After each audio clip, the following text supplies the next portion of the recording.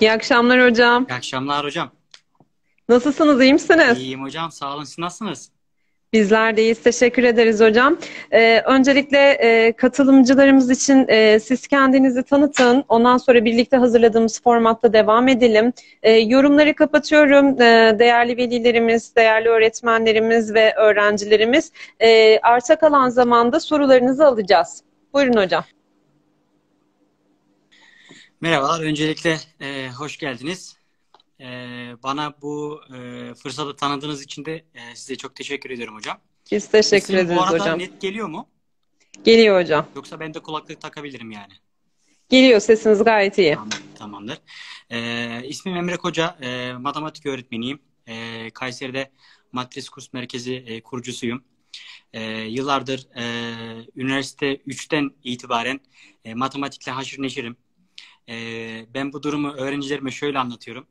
E, diyorum ki altyapıdan yetişen, Galatasaray'dan, Fenerbahçe'den altyapıdan yetişen bir öğrenci gibi e, üniversite 3'ten itibaren e, ben e, çalışmaya başladım. E, şu an e, Türkiye'de iş bulmak e, çok sıkıntılı bir durum. Üniversite 1'i 2'yi çok güzel gezin tozun ama diyorum 3. sınıftan itibaren e, maalesef ki e, bir işin peşinden koşmamız gerekiyor.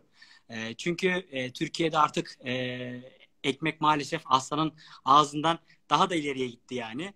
E, daha sıkıntılı durumlara geçiyoruz. E, o yüzden diyorum ki 3. sınıftan itibaren işinizle ilgili neyse onun stajını yapmaya başlayın. E, çok güzel kendinizi geliştirin diye söylüyorum. Kayseriliyim. Kayseri'de okudum.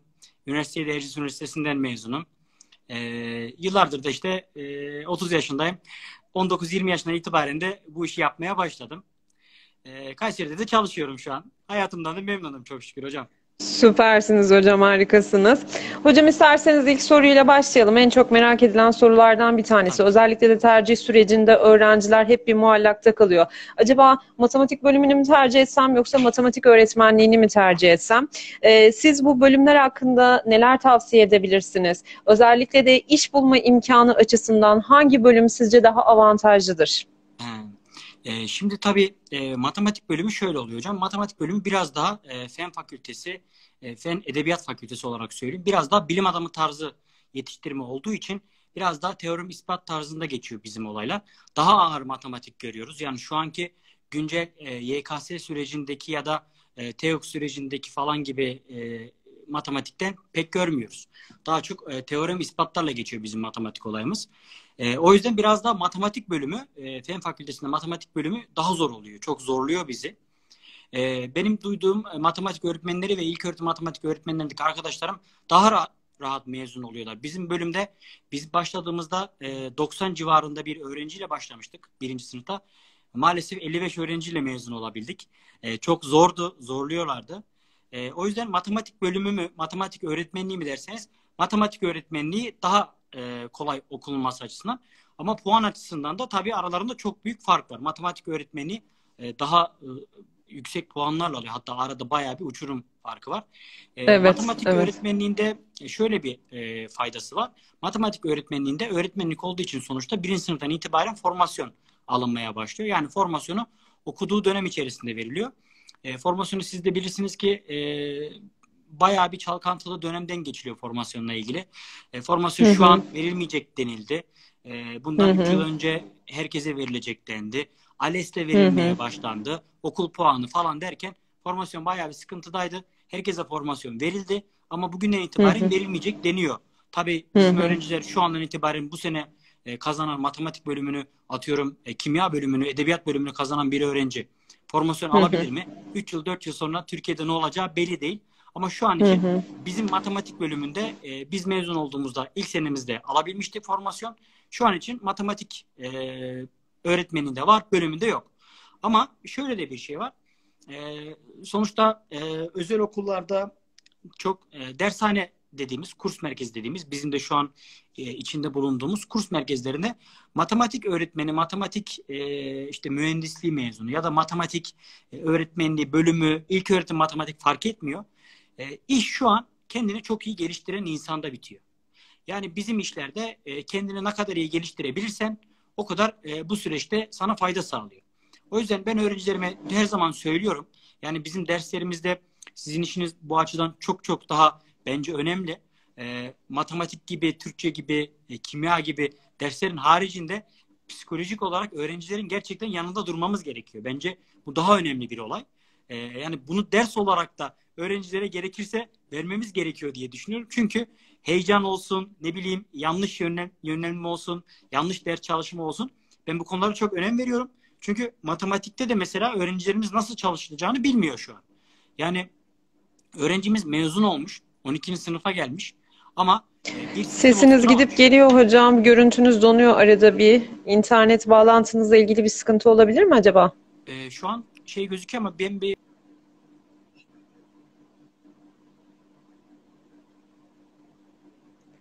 Görüntü dondu. Hocam sesimi alabiliyor musunuz?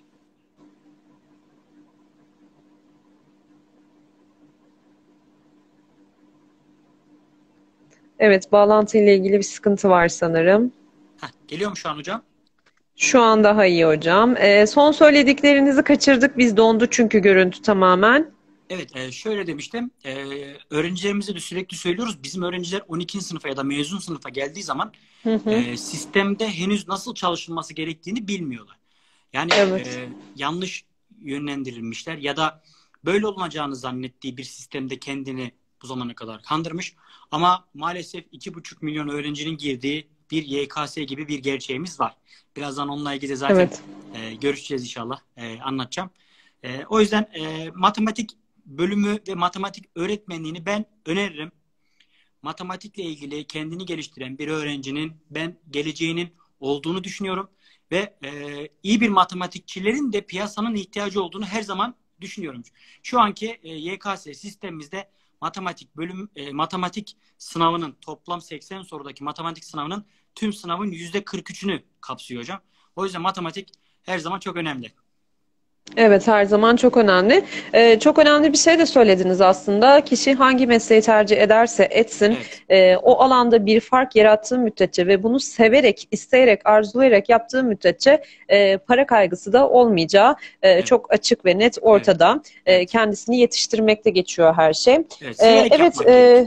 Kesinlikle severek yapmak gerekiyor. YKS sınavına hazırlanan öğrencilerimize iyi bir meslek ve iyi bir üniversite için neler tavsiye edersiniz? Hele ki şu pandemi şartlarında biliyorsunuz olağanüstü bir dönemden geçiyoruz. Evet. Ee, bugün online bir veli seminerimiz vardı. Orada da dile getirdik. Geçen seneki öğrencilerimizden bu seneki öğrencilerimizin biraz daha şanslı olduğunu düşünüyorum ben. Çünkü geçen sene online eğitime ne Türkiye'nin internet altyapısı hazırdı ne de e, özel okul ya da devlet okulu fark etmiyor. Hiçbirinin herhangi bir hazırlığı yoktu. Bir anda e, gerçekleşti. Bir anda bir geçiş oldu. Ama bu sene en azından hepimiz tecrübeliyiz. E, gerek rehberlik servisi, gerek eğitim kadrosu, gerek idareciler, gerekse internetin altyapısı açısından bakarsak. Peki çocukların bu motivasyonuyla ilgili neler söyleyebilirsiniz hocam? Ee, öğrencilerimizi e, bence e, biraz da bu iş velide de bitiyor diye düşünüyorum ben. Ee, veliler bizim yanımıza geldiğinde öğrencinin yanındayken ya hocam online kötü ya. Boş ver online'ı. Yüz yüze yapın. Yani diyoruz ki tabii biz de sevmiyoruz online. Yani biz niye öğrencimiz bizim yanımızda e, olmasını isteyelim ki yani biz öğrenciyle sürekli yan yana olmak istiyoruz. Sürekli e, ona iletişim halinde bulunalım. Yüz yüze e, kuralım iletişimimizi yanlışını ya da doğrusunu söyleyelim. Tabii biz de istiyoruz. Ama e, maalesef e, bütün dünyada şu an e, bir sıkıntı var. E, bu süreci biz hep Evet, beraber sağlık için Yani- şu an mecburuz hep birlikte. Mecburuz, mecburuz. Yani böyle bir süreci biz hep beraber atlatacağız. Yani e, burada e, öğretmenlerimiz çok yoruluyor. Öğrencilerimiz çok yoruluyor. E, ben velinin de birazcık taşın altına elini koyması gerektiğini düşünüyorum. Çünkü e, biz de e, sizde de olduğu gibi hani WhatsApp'tan veli gruplarımızı kuruyoruz. Sürekli velimize e, mesaj atıyoruz. E, öğrencilerimiz derse girmiyor diyoruz. Biliyoruz sıkılıyorlar. Biz de öğrencilerimizi e, gördüğümüzde e, online dönemde olduğunda biz de bazı sıkılmalar yaşıyoruz illaki ama e, bu süreçte sonuçta e, daha önce dediğim gibi iki buçuk milyon öğrenci sınava giriyor. Ve bu süreci bir şekilde çok iyi atlatanlar var. Geçen sene online sınav, e, online dönemde e, herkes geçti. E, Mart'tan itibaren, Mart'ın 16'sından itibaren geçen sene geçtik. Ama e, sonuçta bu sınavda e, birinci olan, ilk bine giren, ilk 10 bine giren bir öğrenci oldu. E, o matematik netlerinde 38-39 netler, 40 netler yapıldı. Yapanlar vardı. Kesinlikle. Demek ki Evet. çok iyi çalışanlar her zaman oluyor. Biz öğrencilerimize Evet. diyoruz ki arkadaşlar bu dönemde e, siz kaybetmeyeceksiniz. Çünkü bazıları illaki bu dönemde e, düşecek. Bazıları bu dönemde Pes edecek. kaybedecek. O yüzden Evet. biz diyoruz ki siz düşmeyin. Siz daha da fazla üste çıkmak için çabalayın. E, velileriniz de e, bize yardımcı olurlarsa bu konularda ben daha iyi olacağını düşünüyorum. Yani e, öğretmenler ve e, kurucular, öğrenciler canla başla savaştığını düşünüyorum bu dönemde. Çünkü artık yeter dedi yani herkes. Artık ben online falan fark etmiyor. Eğitim almak istiyorum diyor. Öğrencilerde böyle Evet. bir açlık var. Hep beraber Evet. inşallah bu süreci aşacağız. İnşallah hocam. Ee, Şimdi online eğitimle de ilgili bir önyargı var biliyorsunuz. İnsanlar e, yeniliklere karşı e, yüzyıllar boyunca sürekli direnç gösterirler. E, Şimdi burada sorulacak asıl soru şu aslında. Online eğitimden anlaşılmıyor mu yoksa yeniliğe karşı bir direnç mi gösteriliyor? Burası çok önemli bir nokta. E, Çünkü dünya üzerinde online eğitim zaten vardı. Süregelen bir süreçti. Ancak biz e, Türkiye olarak belki online'a yeni tanıştık. O yüzden de e, algıları kırabilmek gerçekten çok önemli. Sizin de belirttiğiniz gibi e, geçtiğimiz YKS sınavında ilk 5000'e, ilk 1000'e giren öğrenci varsa demek ki bu iş isteyince yapılabiliyor. Evet. E, şimdi hocam yine geldik online eğitime. Online eğitimde e, şu an tüm öğrencilerimiz e, kademeli olarak e, bu süreçten etkilendi. İlkokuldan liseye kadar hepsi etkilendiler.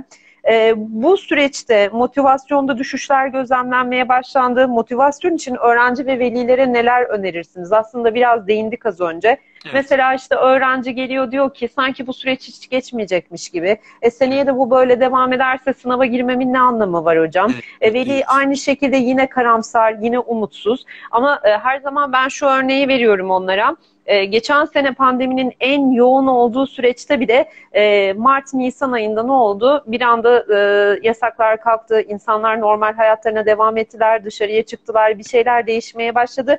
Ki fizik kanunlarında da bilirsiniz hiçbir şey sonsuza kadar sürmez. Her şeyin bir başlangıç, e, bir olgunlaşma ve bir bitiş aşaması vardır. Tıpkı şu yaşadığımız süreçte bitiş aşamasına, finale ulaşacağınız gibi. Peki siz bu motivasyon noktasında gerek velilere gerek öğrencilere neler öneriyorsunuz hocam? Ee, ben öncelikle şöyle söyleyeyim hocam. Ee, şöyle bir laf vardır. Teknolojiye karşı gelirsen teknoloji seni yener. Yani bizim Çok artık güzel. bu süreçten sonra teknolojiye karşı gelme gibi bir durumumuz yok. Dediğiniz gibi geçen sene e, yeniydi bu sistem. Ee, çok herkes hakim değildi. Bazı kurumlardan dolayı da ben şöyle olduğunu düşünüyorum. Bunu ben e, Kayseri genelde toplantı yaptığımızda da söylemiştim. Bazı kurumların e, bu eğitim online süreci çok iyi yönetemediğini ya da e, öğretmenlerimizin çok iyi istek göstermediğinden dolayı bazı öğrencilerin bize e, böyle bir dönüt yaptığını düşünüyorum. Yani size ya da bize gelen öğrencilerin bazı şeyleri bunlardan dolayı da ben yaptığını düşünüyorum. E, daha önce dediğim gibi e, veli bazlı da bir arkadan itekleme var öğrencilerimizin bu süreçte. E, ama e, sonuçta bizim için e, gerçek olan bu sınavın olması ve bu sınavda biz bu sınavı zaten öğrencilerimiz e, sizin dediğiniz gibi şey diye düşünüyorlar. Ya ben bu sene girmesem mi? Ya da ben benim bu senem heba mı olacak falan diye düşünüyor ama biz öğrenciye diyoruz ki e, 12. sınıftaki bir öğrenciye e, arkadaşım tamam mezuna kal. ikinci kere mezuna kal. Üçüncü kere mezuna kal. Bu önemli bir şey değil. Bu kötü bir şey de değil yani. Hani ama sen altyapını geçen seneden hani mezuna kaldığın altyapını iyi kurdun mu? Yani e, mezuna kaldın. Ben mezuna kalacağım. Tamam kaldın. E, 12'in iyi geçti mi? E, 12'ye geldin üniversite sınavına gireceksin. 11'in, 10'un, 9'un iyi geçti mi? Geçmedi. E o zaman e, bu senin de kötü geçtikten sonra sen mezuna kalmanın bir anlamı yok ki. Benim bir arkadaşım vardı. E, üçüncü senesinde e, hazırlandığı üçüncü senesinde kazandı. E, tıbbı kazandı. Yani bunun için savaştı, çabaladı. Ama e, bu senem çok kötü geçti. Sınavlarım benim tıp kazanmam için yeterli değil e, deyip de bırakmadı. Her sene üstüne daha da fazla koyarak, ilerleyerek, çabalayarak çalıştı. E, o yüzden e, bizim online ya da online de yapamayabilirdik. Yani bazı öğrencilerin e, maddi durumu yok. Online'a girecek maddi durumu da yok. Evet Yani, ne yazık ki evet doğuda- öyle. E, televizyonda interneti olmayan, televizyonu olmayan öğrencilerimiz var. E, çok Kesinlikle. duyuyoruz. E, Sayın e, Milli Eğitim Bakanımız paylaşım yapıyor. Tablet dağıtım yaptık. İşte ne bileyim köylerimize internet verdik diye e, duyuyoruz bu haberleri. Yani bunlar da varken yani biz bazen de elimizdeki kıymetin e, farkına varmamız gerekiyor. Yani o yüzden e, tabiri caizse şımarmamamız gerekiyor. Yani e, bazı noktalarda gerçekten e, bizde de bir şeylerin bittiğini öğrencilerin ve velilerin görmesi gerektiğini düşünüyorum. Çünkü ben eminim şu an için e, özel sektördeki öğretmenlerimiz çok çabalıyor. Elinden gelenin en iyisini yapıyorlar. Çünkü öğrencilerin e, biliyorlar ki online süreçte çok bir şeyler kaybettiğini, çok e, demoralize olduğunu biliyorlar ve ben çok çabaladıklarını düşünüyorum. E, biraz öğrenciye ve veliye iş düştüğünü düşünüyorum bu dönemde. Motivasyon Tabii hocam açısından... kesinlikle. Online eğitimde zaten e, yüz yüze eğitimde evet öğrencinin motivasyonu vesairesinin e, belki yüzde yetmişi okuldaydı. Kalan çok az bir dilimi velideydi. Ama artık evet. online eğitime geçildiği için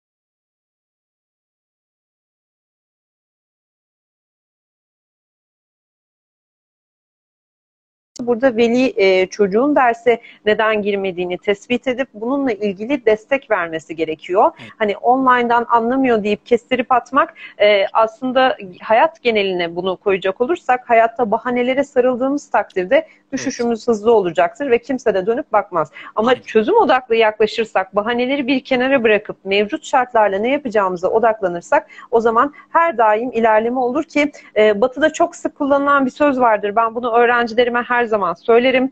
Asıl yükseliş, asıl sıçrama kriz anlarında gerçekleşir. O anı güzel değerlendirmek gerekiyor. Neden? Çünkü rakiplerin bir şeyler için pes ettiğinde evet. sen o sırada zaten sıçrama yapmış oluyorsun. Devamını getirmen Doğru. gerekiyor. Doğru o yüzden de e, ders çalışmaya devam etmeleri gerekiyor. Özellikle şunu sormak istiyorum. Ben deneme sınavlarında e, hani inişler çıkışlar oluyor. Bu süreci dengelemek için ne tavsiye edersiniz?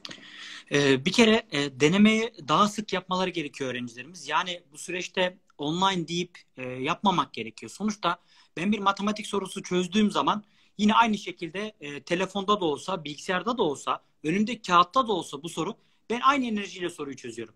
Ya öğrencinin de sonuçta bilgisayar karşısında da yapsa ya da önünde test olsa kendine ya ben yapamıyorum, ben edemiyorum diyerek değil de e, sorulara kendini vermesi gerekiyor. Burada da yine aynı şey dediğimiz yani sabahtan beri konuştuğumuz aynı durum aslında ortaya çıkıyor. Yani öğrencide bitiyor aslında her şey. Öğrenci online deneme yapıyor. Biz de diyoruz ki doğru. Online deneme e, yeni bir süreç. E, doğru. Bilgisayar karşısındasın ya da telefon karşısındasın. Bir iki hı hı. defa yaptıktan sonra, alıştıktan sonra e, o zaman senin netlerin e, gerçeği ortaya çıkacak e, diye söylüyoruz bunu. Ve bunu daha da fazla sık yapması gerekiyor. Sonuçta e, kendi kitapçılardan aldığı denemeleri de evde çözüyor. E, burada deneme ile ilgili de daha fazla soru çözerek e, özellikle matematik adına söyleyeyim ben. Matematik biraz nankör bir derstir. Matematikte herhangi bir konuyu e, bir kere bir kitaptan çözmeyle bu iş olmuyor maalesef. Yani biz basit düzey, orta düzey, zor düzey ya da çok zor düzey kitaplardan e, öğrencilerden en az 3 yayından 4 yayından bitirmesini istiyorum ve matematikten özellikle. E, o yüzden e, denemede de aynı şekilde. Ve deneme ile ilgili e, şöyle bir şey söyleyeyim. Adı üstünde deneme. Öğrencilerimiz e, hala Mayıs ayına geliyoruz. Haziran'ın ortasında ya da sonuna doğru sınav oluyor. Öğrencilerimizden şunu duyuyorum. Hocam ya bu denemem kötü geçti. E neden? Ya bu denemede de e, Türkçeden sonra matematik yaptım. Ya da Türkçeden sonra önce dedim ki sosyal aradan çıksın. Ya da önce sadece matematiği yaptım. Ya arkadaşım diyorum Mayıs gelmiş ya. Yani Mayıs. Yani koskoca e, Ağustos'tan itibaren biz bu sisteme başlıyoruz. Ağustos, Eylül, Ekim ne oldu buradaki denemeler? Buradaki denemede ben diyorum ki çok kötü yap. Yani listede e, ilk yüzde atıyorum e, 50. ol. Yani normalde 10. olan olabilecek bir öğrencisisin. Doğru 50. ol. Ama o denemede gör. Yani arkadaşlarından utanma, çekinme. O denemede sen 50. oldun diye kimse seni aşağılamayacak. Ya da aşağıladı diyelim. Ama önemli olan o üniversite sınavında senin yaptığın netler. O yüzden diyorum evet. ki denemede dene kendini. Ee, çok kötü yap. İlk matematikten başla. Baktın sana uymuyor. İlk Türkçeden başla. Baktın sana uymuyor. İlk sosyalden başla. Ama bunu iki denemeye, üç denemeye, dört denemeye yay. Bunu böyle e, öğren diye e, tavsiyelerde bulunuyoruz. Online yani olsa, kendi stratejilerini bak. geliştirmeleri gerekiyor. Sınav stratejilerini geliştirmeleri gerekiyor. Ee, değerli velilerimizin de deneme sınavları sonuçları doğrultusunda bu neden böyle, neden düşüş var diye sorgulamak yerine orada öğrencinin bir strateji oturtturmaya çalıştığının Evet. bilinciyle hareket etmesi Aynen. çok önemli. Aynen. Ee, hocam bir de en büyük sıkıntılarımızdan biri e, sadece eşit ağırlık öğrencisinde değil, sayısal öğrencilerde bile matematik dersine karşı ciddi bir öğrenilmiş çaresizlik yaşıyoruz. Bunu sadece Türkiye'de mi yaşıyoruz bilmiyorum ama bu matematik dersiyle ilgili aradaki problemi çözmek için ne yapıyorsunuz? Öğrencileriniz sizi çok seviyor, daha önce birlikte çalıştık. Yani ben sırf e, sizin için matematik dersini zevk ve şevkle giren öğrenciler tanıyorum. Ne diyorsunuz hocam? Bunun formülü nedir? Ne yapmak gerekiyor? Ee, yani şimdi hocam e, siz de bilirsiniz e, bazı e, devlet okullarında maalesef e, kalabalıklıktan ya da e, devlet okullarındaki e, öğretmenlerimiz e, ama ne olacak ben mi kurtaracağım bu öğrencileri diyerek biz öğrenci geldiğini gördük. E, öğrenci hangi ders olursa olsun matematik için değil hangi ders olursa olsun e, sözelci ya da sayısalcı sözelci için sayısal ders ya da sayısalcı için sözel ders ee, öğretmeni ne kadar çok severse illaki bir yüzde otuz kırklık bir ivme kazanıyor. Yani biz matematiği ilk başladığımızda e, beraber çalıştığımız okulda da öyleydi. E, ben ilk başladığımızda öğrencilere öncelikle matematiğin çok zor olmadığını göstermeye çalışıyorum. Yani öğrencilere ben istiyorum ki bakın tamam matematiğimiz berbat mı? Berbat. Tamam yerlerde mi? Yerlerde. Tamam. Ama ben bir tane soru soruyorum. Diyorum ki yani bunu yapabiliyor musun ya? Hani yapabiliyor musun? Bak bakayım yapıyorum hocam diyor. E tamam işte bitti demek ki. Yani senin de içinde bu cevher varmış yani diyorum. Yani bu matematik tamam. Bazılarına e, şekil A, bazılarına e, yetenek olarak gelmiş olabilir. Ama e, herkeste bu bilgi var. Yani en başta diyorum ki ya sen diyorum Starbucks'a gidiyor musun? Gidiyorum hocam. 20 lira veriyorsun. Diyorsun ki e, bir işte orta boy e, karamel macchiato alacağım ben. Ya 11.25 tutuyor, 12.75 tutuyor. Kaç lira para üstü alacağını bilmen gerekiyor. Yani sana bu kadar matematik lazım. Ama şu an bizim mezun öğrencilerimizden bazılarında bile hala bunu hesaplamakta sıkıntı çeken öğrencilerimiz var. Ben burada suçu Evet. öğrencilerimize sadece yüzde on, yüzde yirmi görüyorum. Öğrencilerimiz doğru, tembellik ediyor, çalışmıyor. Doğru, bunlar doğru. Ama şöyle bir sıkıntı var. Ee, öğrencilerimizin bu noktaya gelene kadar ki yaşadığı süreçte veli olsun, e, devlet okulları olsun e, çok iyi e, eğitim verilip sevdirilmediğini düşünüyorum ben matematiğin. Yani o yüzden öğrenciyle bizim zaten belli bir yaş grubundaki öğrenciler zaten sıkıntılı bir dönemden geçiyorlar. Yani doğru olmayan bir sistemden geçiyorlar. E, senenin sonuna kadar çalışıyorsun, çalışıyorsun, çalışıyorsun e, ve 3 saatte hayatın gözünün önünde her şey tamamen bitiyor. Yanlış. E, biz de bu sistemi savunmuyoruz. Ama sistem buyken mecburen ayak uydurmamız gerekiyor. O yüzden e, bizim öğrenciyle iletişimimizin, yani ben bütün öğretmenlerde, e, yanıma gelen stajyer öğretmenlere aynı şeyi söylüyorum. Diyorum ki öncelikle e, bizim öğrenciyle il- iletişimimizin çok iyi olması gerekiyor. Özellikle matematik. Matematik çok zor. Yani bir yabancı dili öğretiyormuşsun gibi. Yani öğrenci böyle görüyor matematiği. Sadece diyor Evet, ki hocam gözünde diyor, çok şey yapıyorlar, Aynen. büyütüyorlar gözlerinde benim gerçekten diyor, de. Matematik, matematik diyor yapmam gerekiyor diyor. Ama diyor istemiyorum diyor. Yani bir yabancı dil öğrenmek gibi düşünüyor. Yani bir Almanca, İngilizce hadi geçtim bir Almanca, Fransızca gibi görüyor öğrenciler. Ama matematiği yapmam gerekiyor diyor. Bu noktada öğrencilerle e, zaten iletişimimizi iyi kurduktan sonra senin de o matematiği yapıyorsun demeyi bence öğrencilerimize göstermemiz gerekiyor. Peki hocam şimdi artık e, neredeyse yarı döneme varmak üzereyiz. Özellikle 11. ve 12. sınıf öğrencileri matematikle ilgili şu saate kadar hiç ilerleme kaydedememiş olan öğrencilere ne tavsiye edersiniz? E, bunun dışında artı hangi kaynakları önerirsiniz matematikle ilgili? Normalde benim kendi öğrencilerim sorsa böyle bir şey dese hocam ya hani bu dönemim çok kötü geçti 11. sınıf öğrencim. Neyse boş ver herkes okumak zorunda değil diye bir espri yapmadım. Evet bu da bir seçenek doğru. Bu espriyi yapmamış kabul edin. Yani bu espriyi Tamam. Ee, yani ben öğrencilere söylüyorum diyorum ki zaten sınav e, 12. sınıf ya da mezun öğrencisin öğrencisi için sınav son 5-6 ayda 4 ayda kazanılan bir sistem. Yani şu an bile şu an bile e, kendi öğrencilerime de sesleniyorum. Online derslerde e, az girip çıkan sabahleyin uyanamayan öğrencilerime de sesleniyorum.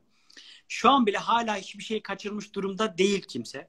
Şu an bile yarış için süper bir zaman, mükemmel bir önümüzde süreç var. E, gecesine gündüzüne katan herkesin e, bir şeyler yapabileceğine inanıyorum. O yüzden e, 12 ya da mezun öğrencilerinin e, bugünden itibaren bir plan proje içerisinde çizip e, ders çalışmaları gerekiyor. Ama şöyle bir şey duyuyorum. Öğrencilerime konuşuyorum. Ben diyorum ki günlük kaç saat çalışıyorsun? Yani normal online derslerini yaptın. Yattın, uyudun, kalktın, yemeğini yedin. Kaç saat çalışıyorsun? Hocam 3 saat, 4 saat. Yani ben e, hafta sonları evdeyken soru hazırlama sistemi üzerine kendim evde çalıştığım zaman 5-6 saat masadan kalkmıyorum hocam. Yani 5-6 Evet. saat soru hazırlıyorum. Benim öğrenciler bilir. Dün de e, e, dışarıdan katılan öğrencilere e, online soru çözümüm vardı. Yani durmuyorum, hala çalışıyorum. Ve ben diyorum bir pazar günü boşken 6 saat çalışabiliyorsan, 5 saat çalışabiliyorsan masanın başında lütfen siz de e, en az günde online ders hariçlerinde en az 6 saat, 7 saat çalışmanız gerekiyor diye düşünüyorum diye tavsiyelerde bulunuyorum. E, onun haricinde de e, kitap olarak da eğer temel e, olarak bir sıkıntımız varsa e, bazı öğrenciler e, biraz çekiniyorlar. Ya ben antrenmanlarla matematik çözmek istemiyorum diyorlar ama matematik işlem olarak biz istiyoruz ki öğrencilerden. Yani çıkarma işleminde eksiz küçük sayıdan büyük sayı çıkarma işlemlerinde ya da işlem önceliği sorularında biraz pratik kazan diye antrenmanlarla matematiği öneriyoruz. Yani sen matematikte çok kötüsün diye bu kitabı önermiyoruz. Onun haricinde e, yeni nesil format olarak da e, ENS ve aktifi öneriyorum ben temel matematik düzeyinde. İlk bunu hallettikten sonra zaten piyasadaki hangi kitabı alırsa alsın, hangi kitabı çözerse çö- çözsün fark etmiyor bizim için. Ama benim e, kendi öğrencilerime önerdiğim de şeyler zaten piyasada bilinen e, bilgisayar malı 3D, 3, 4, 5 gibi yayınlar zaten. Herkes de bunu biliyor. Yayın denizi gibi. E, o yüzden e, ilk başta e, kendilerini sıkmadan bir matematiğe başlamaları gerekiyor. Bunun için temel matematik kitabı çözüp hemen bir ayda çözmesi gereken sistemi çözüp sonrasında e, matematik sorularını ağırlaştırmalarını öneriyorum şu an için. Evet hocam çok güzel söylediniz. Ee, şu anda hiçbir şey kaçırmış değiller. Ee, Evet. harekete geçmek için çok mükemmel bir süreç. O yüzden de e, şu an bile başlasalar ciddi yol kat edebilirler. Evet. Ee, bunun dışında da e, matematik kötüyse önce bir kabule geçmek gerekiyor. Sıfırdan başlaması gerekiyorsa sıfırdan alacak. Gerek videolarla e, destekleyerek, gerekse antrenmanlarla 1, 2, 3 bunlarla destekleyerek e, eylemsizliktense harekete geçmek, adım atmak çok daha makuldür diye düşünüyorum. Aynen. Peki geldik Kayseri'ye hocam. Kayseri ve Erciyes Üniversitesi'ne. Ee, tercih dönemleri de çok önem arz ediyor biliyorsunuz. Sınava hazırlanmak kadar önemli aslında şehir tercihi ve Evet, üniversite tabii. tercihi. Ee, evet bir Kayserili olarak Kayseri ile ilgili neler anlatabilirsiniz velilerimize ve öğrencilerimize? Erciyes Üniversiteleri ile Erciyes Üniversitesi hakkında neler tavsiye edersiniz? Ee, öncelikle e, Kayserimiz güzel bir şehir. Kayseri'ye tabii ki gelmelerini öneririm. Ee, sonuçta üniversitemiz de fazlalaşmaya başladı. Şehrimiz büyümeye başladı. Ee, gelişmekte olan bir şehir. Ee, çoğu şehire göre daha düzenli bir şehir. Yerleşim olarak falan. Ee, Evet. Tabii zor bir şehir. Siz de biliyorsunuz. Evet. Aynen. O yüzden e, e, öğrencilere Kayseri e, şehir olarak zaten e, Gümüşhane'ye gidip de okuyup da e, okumak zorunda olup da 50 bin 60 bin nüfuslu yerde okuyan öğrencilerimiz de var. E, ben burada şehirden ziyade öğrencilerimize şunu öneriyorum. Diyorum ki sen bir kere sevdiğin mesleği yapıyor musun? Yani kazanmak için mi kazanıyorsun? Yoksa gerçekten ben bu mesleği istiyorum. Bunun için diyorsan yani e, Ağrı'dan Edirne'ye yani e, Van'dan Hakkari'den e, Muğla'ya, Antalya'ya, İzmir'e kadar her yer bizim e, vatanımız, toprağımız. Yani Evet. sen bu mesleği seviyorsan Kayseri'de de okunur. Ama Kesinlikle. biz Ama e, bazı velilerimiz şehir konusunda çok ketum davranıyorlar hocam. Hani e, gözden uzak olmasın, daha çabuk müdahale edebileyim ya da bazı öğrenciler cesaret edemedikleri için üniversite tercihlerinde şehir seçeneklerini küçülttüklerinden dolayı yerleşme olasılıkları da bir nebze aslında daha düşüyor. evet. E, bir e, üniversite mezunu olarak üniversiteyi bulunduğu şehrin dışında farklı bir kültürde okumanın katkıları hakkında aslında birazcık tavsiye verirseniz bence etkili olacaktır diye düşünüyorum. Ee, şimdi hocam e, ben Kayseri'yi şöyle öneriyorum. E, öğrencilerimiz burada e, atıyorum fen bilgisi öğretmenliğini okuyor. Aynı zamanda da 4 yıl boyunca girişimcilik üzerine Kayseri'de Evet evet kesinlikle. üzerine de zaten arkadaşlarından çevrede Kesinlikle. mezun olmuş oluyor. Yani Evet. bedavadan 4 yıl boyunca girişimcilik üzerine formasyon alarak zaten mezun Evet. olmuş oluyorlar. Bunu da buradan açıklayalım şimdi. Bilmeyenler için ben Kayseri'ye ilk gittiğimde alışverişte bile e, pazarlık çok meşhurdur. Pazarlık yapmadığınız takdirde sizin de dışarıdan geldiğiniz anlaşılırsa normal bir fiyatı 3 liraysa alacak olduğunuz ürünün size rahatlıkla 10 liraya satabiliyorlar. Aynen. O yüzden girişimcilik noktası burada devreye giriyor. Biraz Aynen. açık gözlü olmaları gerekiyor Aynen, diye düşünüyorum ben. Ya Evet. hocam işte mesela e, diyor ki bana diyor geliyor kayda veli diyor ki ya bana diyor son yapacağın ne olur? Bak sen de yabancı değilsin ben de yabancı değilim. diyor. Doğru diyor abi diyorum ya. Hani fiyatım diyorum şu ama sana gel ATL olsun diyorum. Bak arada bin lira iki bin lira oynuyor ya sen benim abimsin diyorum. Doğru ben de sana bunu yapıyorum diyorum. Biraz daha düştü. Pazarlık çok zor Kayseri'de çok zor. Aynen. O yüzden e, burada pazarlığı öğrenir, e, dolandırılmayı öğrenir. kesinlikle, kesinlikle. Ama çok da güzel arkadaşlarından e, nasıl pazarlık yapılacağını, nasıl bir şeyin e, belirli bir fiyatta alınması gerektiğini, belirli bir fiyatta satılması gerektiğini. Çünkü bu da hayatımızın aslında bir gerçeği. Evet. Bizim e, yaşadığımızda bunlarla ilgili de zaten bir alışveriş merkezine girdiğimizin dışındaki her yerde pazarlık bizde dönüyor hocam. Bilmiyorum sizin oralarda nasıl ama Bizim oralarda yok hocam pazarlık genelde. Yok Bizim- yani yok. bizim burada AVM haricinde. Yok hocam ben gördüm. Kotonda da pazarlık yapan vardı. Gördüm ben gördüm. O yüzden e, Gördüm. Bu açıdan şey var. E, üniversitelerimize gelince e, Erciyes Üniversitesi özellikle e, mühendislik alanında bayağı kendini geliştirdi. Mühendislikte şu an e, Türkiye'de dereceye oynuyor. E, belki haberlerde falan görmüşsünüzdür. E, bizim öğretim görevlilerimiz e, bayağı bir başarılı duruma geldi. Dünya çapında mühendislik bölümü için bahsediyorum özellikle. E, onun dışında tıp alanında bizim zaten e, aşı çalışmalarında da e, Kayseri'nin ismi zaten duyuluyor. E, Evet. Erciyes Üniversitesi e, çoğu yönden e, başarılı bir duruma geldi. Devlet üniversitesi olarak e, Erciyes Üniversitesi'ni ben kesinlikle öneriyorum. Yani iyi bir eğitim açısından öneriyorum. E, bizim Erciyes Üniversitesi'nin konumu da çok güzel bir yerde. Alanı da çok geniş. E, belki hani görmüşsünüzdür burada olduğunuz zamanlarda. E, sadece şehirdeki insanlarla sorun yaşamazlarsa sıkıntı olacağını düşünmüyorum Kayseri. Yok aslında e, İç Anadolu'nun insanı içe e, cana yakındır, e, Aynen. yardımseverdir. Sadece Kayseri dolaylarına, Yozgat, Çorum dolaylarına gitmeyi düşünenler pazarlık konusunda biraz daha uyanık olmaları tavsiye edilir. Aynen. Peki Aynen. hocam, e, verdiğiniz bilgiler için çok teşekkür ediyorum. demek, Sizin için de uygunsa şimdi yorumları açalım e, ve soruları alalım öğrencilerimizden. Olur hocam. Evet, e, matematik dersiyle ilgili e, var mı sormak istediğiniz değerli hocamıza? Matematikle ilgili, e, Erciyes Üniversitesi ile ilgili, Kayseri ile ilgili merak ettiğiniz sorusu olan varsa alalım. Kendi öğrencilerin bildiği soruları sormasınlar. Yorumları açar mısınız yazmışlar. Yorumları açtım ama soru gelmiyor şu anda. Evet sorusu olan varsa bekliyorum.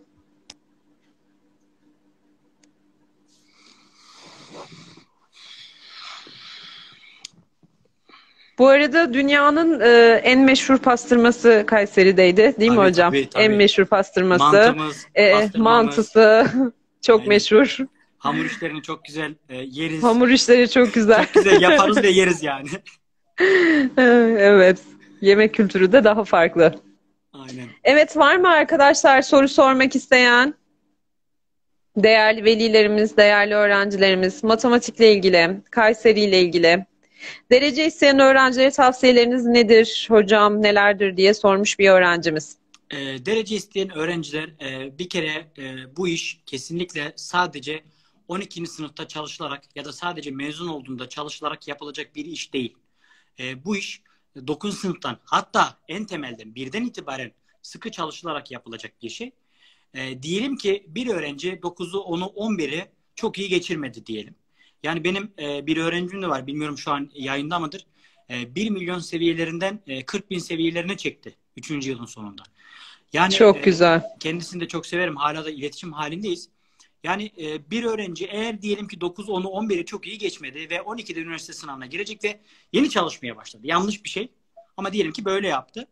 E, bu öğrenci eğer hayalinde e, gerçekten ben derece yaparım diyebiliyorsa ve kendinde bu potansiyeli görüyorsa 2 sene, 3 sene demeden e, sürekli çalışması gerektiğini düşünüyorum. Yani bu iş kolay bir şey değil. Derece yapmak gerçekten zor bir şey. E, gecesini gündüzüne katması gerekiyor. Ama şöyle de bir şey var. E, bir e, üniversite sınavında derece yapan bir öğrenciyi dinlemiştim internette. E, demişti ki ben gece dörtte kalkarım, e, üç buçukta kalkarım, e, NBA maçlarını izlerim demişti. Yani o yüzden kesinlikle dinlenmeye de vakit ayırmak aynen, çok önemli. Sadece kesinlikle. çok kasayım, e, gece gündüz ders çalışın demek değil. Çok çalışmak ama verimli çalışmaktan geçiyor. O yüzden verimli çalışmak, doğru çalışmak gerektiğini düşünüyorum derece için. Evet, e, verimli çalışmak, kesinlikle bir ders çalışma programı eşliğinde çalışmak çok önemli. E, sosyal aktiviteye de vakit ayırmak yine keza evet. en önemli konulardan bir tanesi. Biri velimizden matematiği iyi olan öğrenci e, hangi mesleği alanı tercih etmelidir diye bir soru sormuş hocam. Matematiği iyiyse matematik öğretmenliğini öneriyorum. matematik çünkü, öğretmenliği iyi olur. Aynen, aynen. çünkü matematiği iyi olan öğrencilerimizin iyi öğreteceğini de düşünüyorum. E, iyi bir matematikçiye piyasanın her zaman, e, sistemin her zaman ihtiyacı var. E, öğrencilerimize matematiği iyi olan insanların öğretmesi gerektiğini düşünüyorum. E, bunu savunuyorum. E, evet. Onun dışında da zaten matematik e, yapmak demek sistemde direkt zaten sizi ilk 100 binin altına atıyor. Bu KPSS'de öyle, ALES'te de öyle. Hepsinde aynı durum aynen. söz konusu. Matematik, matematik yani, olmazsa olmaz ne aynen. yazık ki. Matematik zaten e, yayının başında da dediğim gibi tüm sınavın %43'ünü kapsıyor. Matematik evet. maalesef şu anki hayatımızın sistemimizin içerisinde. E, o yüzden matematikle düşman olmak yerine e, barışık olmak gerekiyor. E, ve matematiği iyi olan öğrencilerin zaten e, mühendislik alanında, tıp alanında, diş hekimliği alanında ya da hukuk alanında. Yani diyorlar ki neden bir hukukçunun e, şeyi matematiği iyi yapması gerekiyor? E, çok güzel e, olaylarda e, çözümleme yapabiliyor. Analitik düşünen bir hukukçu çok güzel bir vakada çözümleme yapabiliyor. Bu öğrenci zaten 30 üstü matematikle e, oralara gidiyor. Yani o yüzden Kesinlikle. matematiği iyi olan öğrencilerin zaten bölümlerde yüksek yerlerde zaten. E, Tercih aralığı da daha fazla oluyor aynen, matematik aynen. iyi olanların evet. aynı şekilde. Hocam şimdi en sık gelen sorulardan bir tanesi aslında dersin başına oturunca sıkılma isteği nasıl giderilir? Burada da hedef devreye giriyor. Hedef olmazsa dersin başına oturamazsın. Oturduğunda sıkılırsın. Sağlam bir hedef olmadan bu iş olmuyor ne yazık ki. Doğru. Var mı sizin eklemek istediğiniz buna hocam? Ee, ben şöyle söylüyorum bizim öğrencilere. Ee, diyorum ki atıyorum 40 e, dakika ders çalıştın. Normal derslerimiz 40 dakika ya. 40 dakika Hı-hı. ders çalıştın. Sonra çok sıkıldın. Bir gün sonra 41 dakika olsun. O bir dakika sıkılmasa da ama kalkma. Bir sonraki zamanlarda bu 45 dakika olsun, 50 dakika olsun. Sıkıl ama masadan kalkma diyorum. Ve sonuçta biz 3 e, saatlik bir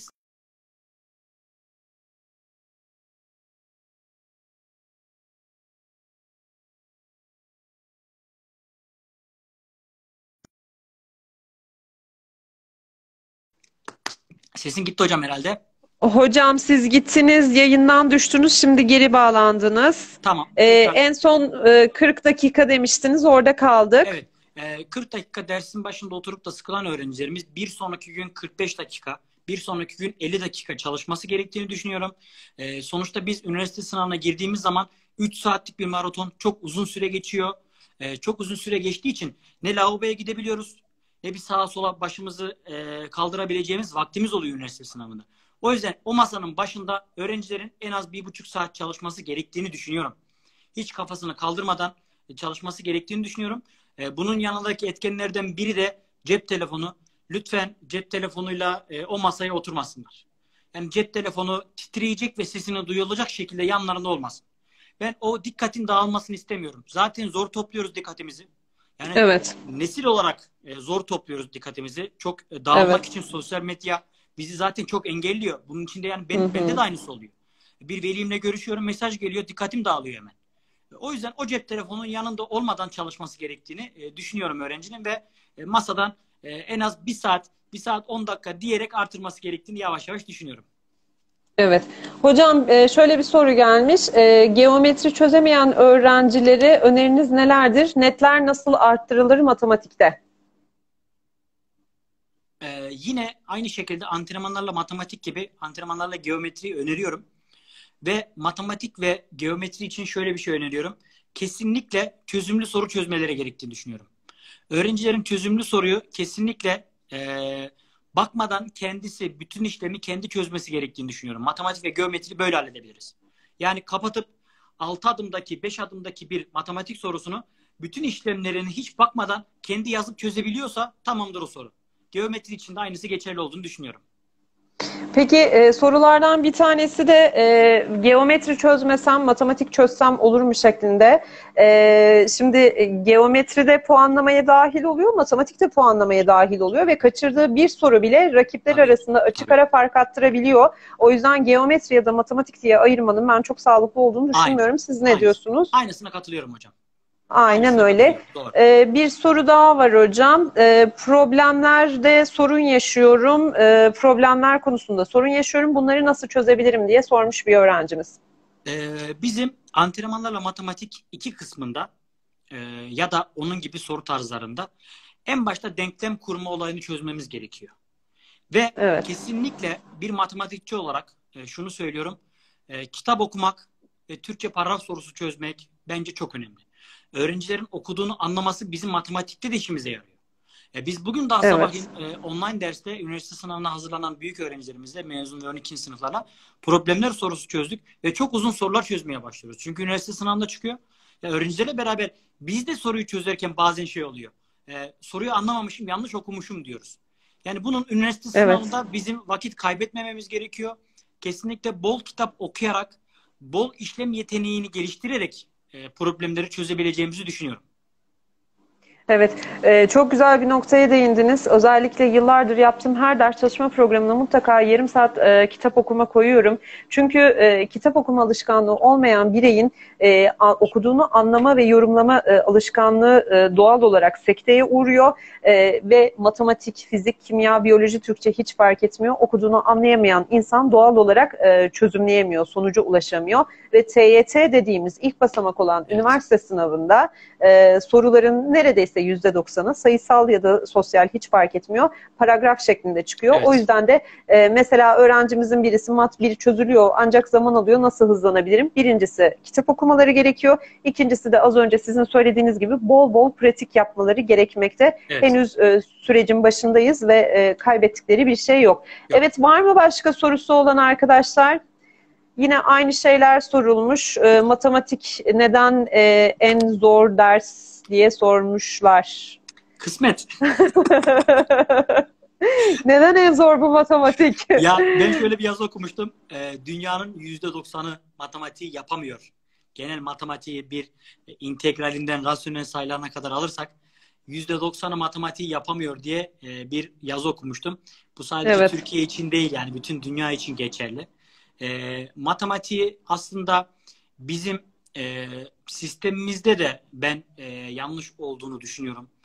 Yani bazı e, ben bazı soruları mesela 12. sınıfta çözmeye çalıştığım ya da e, 11. sınıfta çözmeye çalıştığım soru matematik soru tarzlarını ben bu arada üniversite sınavında bir yanlış yaptım matematikte totalde. Kendim sınavı Süper, kazandığım harika sene. hocam. Ama e, ona rağmen bazı soru tarzlarını anlamıyordum.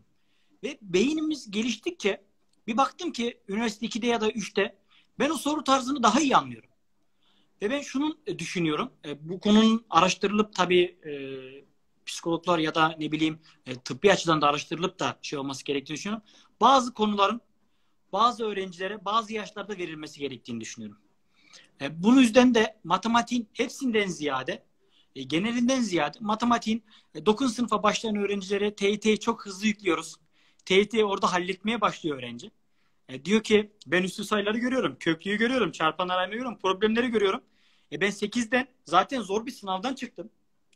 E diyor ki bu öğrenci hani nasıl öğreneceğim ben? Sonra bir bakıyor evet. ki 12'ye gelmiş. E, hocam e, işte TYT'm çok kötü. E senin 9'un kötü geçti. Sen 9'da zaten kendini veremedin bu şeye, derslere, matematiğe. Evet. Yani o yüzden zaten TYT'mizin kötü geçmesinin e, asıl nedeni 9'daki zaten sıkıntılarımızdan kaynaklanıyor. E, o yüzden e, sistem tamamen e, en baştan en sonuna kadar olan bir sistem. Yani şu an için biz 7'deki bir öğrenciye diyoruz ki çok güzel yaştasın. Bunun kıymetini bil. Sistemli bir şekilde üniversite sınavına kadar çalış. Ya da 9. sınıf, 10. sınıf öğrencisine diyoruz ki çok güzel yaştasın. Çok güzel bir yerden tutmuşsun. Buraya bırakma. Evet çok güzel söylüyorsunuz hocam. 8. sınıfta öğrenci LGS sınav gerçeğinden çıktıktan sonra aslında 9. sınıflar için de çok büyük sıkıntı bu.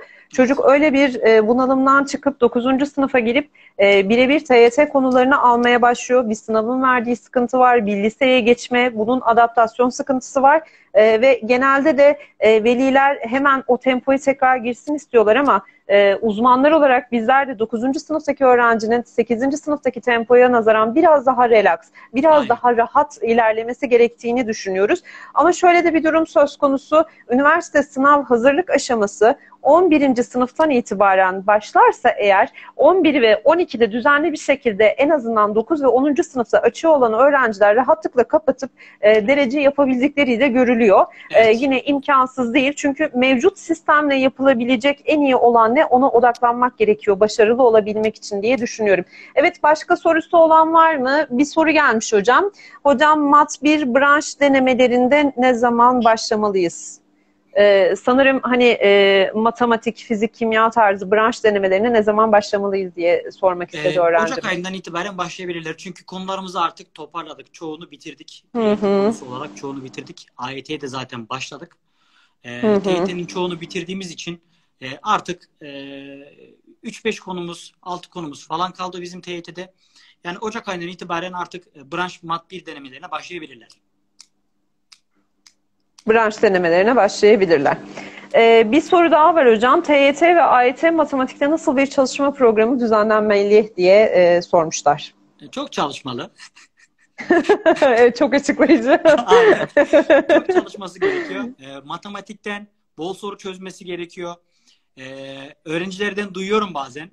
Diyor ki hocam diyor ben diyor bu sene diyor ilk defa diyor ömrüm hayatım boyunca diyor matematik kitabı bitirdim diyor.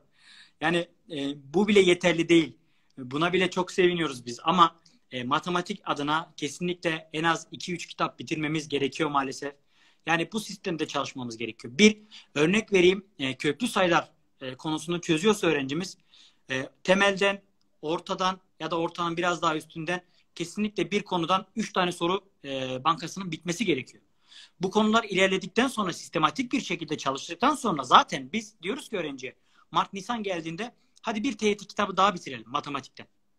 Yani bizim sistemimiz böyle olması gerekiyor. O yüzden e, matematik maalesef ki çok çok çok soruyla e, çözülmesi gerekirken e, artık iki buçuk milyon öğrenci giriyor ve e, şu an bizim yarıştığımız dünya çapında ülkeler var. E, PISA gibi bir gerçek var. E, sürekli Evet. biz bu konularda yarışıyoruz. E, matematiğimiz yeni nesil formatına dönmeye başladı. Bu sadece şekil manasında yeni nesil değil. Yani öğrenciden e, o sorudan bir sistem kurmasını istiyor. Bir denklem kurmasını istiyor. Yeni güncel hayattan bir örnekler veriyor. E, bunun içerisinde sadece matematik çok soru çözmek değil, daha önce, e, daha önce söylediğimiz gibi kitap okumak, paragraf çözmek, e, yanında dikkat dağıtıcı bir şeyin olmaması. Çünkü öğrenci kitabın e, tam ortasına geliyor sorunun. E, yan taraftan cep telefonu çalıyor, cep telefonuna bakıyor. E, böyle soru çözülmüyor. E, soruları zaten Evet. görüyorsunuz hocam. Yani çok uzun sorular geliyor. Paragraf O yüzden şeklinde geliyor. Bunlar hepsi bir bütün halinde e, senenin başından sonuna kadar çalışmamız gerekiyor. Evet, hepsi komplike. Ee, sadece matematik, fizik, kimya ya da Türkçe olarak bakmamak gerekiyor. Bütün derslerden sorumlu olduğunuz için hepsi komplike olduğundan dolayı e, mutlaka ve mutlaka planlı bir şekilde bir program eşliğinde gitmelerinde fayda var. Ee, yine öğrencilerimizden bir tanesi TYT, AYT e, kaç ayda biter düzenli çalışırsak diye sormuş. Yani Evet. e, bitmiyor maalesef ki. Yani sınava kadar e, sınav Sürekli dönemi tazeliyor, devam Aynen, ediyor, sonuna sürekli kadar devam ediyor. bitmiyor Tekrar maalesef. yapmak gerekiyor. gerekiyor maalesef. Aksi takdirde unutma gerçekleşiyor çünkü öğrenme anca tekrarlarla oluyor. Hocam tekrar sıklığı nasıl olmalı? Nasıl tekrar yapmalıyız? Tekrar sıklığı nasıl olmalı? Bununla ilgili daha önce YouTube'a yüklediğim videolar var benim. Ee, tekrarlar günlük, haftalık ve aylık şeklinde gerçekleşmeli arkadaşlar. Sadece bir günün tekrarını yaptım. Tamam ben bu konuyu öğrendim yanılgısına düştüğünüz takdirde sınavda e, aynı soru denk geldiğinde işte ben bunu görmüştüm neden yapamıyorum diyorsunuz. Çünkü öğrenme gerçekleşmemiş oluyor. Evet. O yüzden de e, rehberlik servisinden bu noktada destek alabilirsiniz. Evet. Peki hocam ben katılımınız için teşekkür ediyorum. teşekkür Emeğinize, yüreğinize sağlık. E, gerçekten e, çok aydınlatıcı e, bilgiler verdiniz. İnşallah öğrencilerimiz, velilerimiz için de faydalı olmuştur. İnşallah. E, tekrar teşekkür ediyorum çok hocam. teşekkür ederim Görüşmek hocam. dileğiyle. Görüşürüz. İyi akşamlar diliyorum. İyi akşamlar.